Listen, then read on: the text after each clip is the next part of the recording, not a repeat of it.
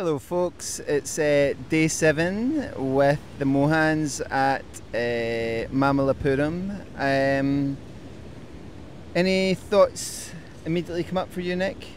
Well, my first one is I'm just a little bit getting. I'm, I'm just getting a bit bored now, sitting by the Indian Ocean, um, in the heat. It's about what's it? It's about 25, 26 degrees at the moment. Easily, yeah. easily.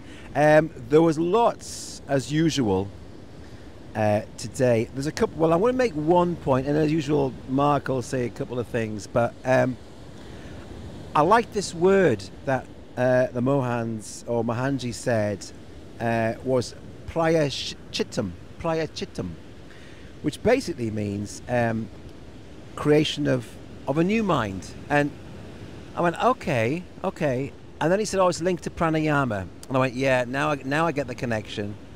And basically, if you work on your breath, hold the intention with a kind of a good mantra that, that creates a nice feeling, maybe a feeling of positivity, of space, uh, thoughts subside, you just kind of develop or begin to develop a new mind which kind of starts to over overlay the old mind. You know, change. I think basically I went away thinking, okay, change is possible. You got to work at it, but change is there. Yeah, I think like one of the things that is very obvious that we have certain ways of being, some samskaras, and the way our mind works has uh, samskaras and the way we respond and react, which really like habits is maybe the word that some samskaras is loosely translated as. Um, and for us to work with ourselves, so if we want to work with our anger, or we need to work with forgiveness and compassion, building that side of ourselves, and we want to kind of reform ourselves. You know, we kind of want to like change who we are to be better people who live in truth, who are aware of what truth is, which is the word vidya is um, uh, wisdom or truth in, in Sanskrit, and avidya is like false knowledge. So we want to work with proper knowledge, proper truth, and therefore act on that and do proper actions and therefore we'll be happier, pleasanter, more complete people. Yeah, solved if you if you like. But he did say today as well. You know what? This just takes time. It takes a lot of time. And uh, one other thing I think also was this um, this idea that uh, you can be bound by your actions, or you can be freed by your actions. And I, I, I quite like that idea that you know, when you do something, you can have very high expectations of what's really going to happen. But that's that's kind of that's kind of constraining you a bit. So when you do an action, he was really saying, you know, just let it go. I mean, that you may get rewards or you might not.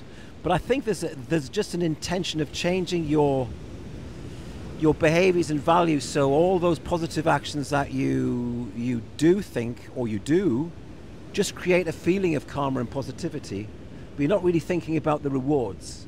That's, yeah, that's not what you're thinking about. Yeah, I, th- I think what he said was, uh, in terms of like our expectations, there's so many external factors like yeah, contribute to the result that our expectations may never be met, but there's an internal expectation and an internal change which is more important than anything external. We also did a beautiful chant with uh, Indraji today, which was Hridrogam Mama Surya Mitraya Namaha, which means just as the sun, the, the external sun cleanses the earth, can our internal sun uh, remove all our blemishes and all our um, defects, you know. And, and, actually, reminded me a little bit of what the the twelve step program people do. Like, they one of their steps is to try and remove all their defects and and work through a program to remove their defects. Wisdom's wisdom, you know, like whether it comes from the 12 step program or whether it comes from yoga or whether it comes from